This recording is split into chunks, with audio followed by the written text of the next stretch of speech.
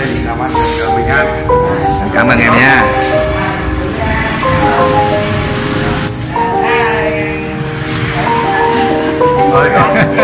Rồi à, chị nhận lại à, làm ăn vẫn tới nha. À, cảm ơn em nha nhiều nha. À, cái ơn này là không biết biết khi nào mà sẽ đến không có gì. Rồi, rồi, rồi, rồi. đó là chị anh chị nào mạnh khỏe cảm ơn em nha.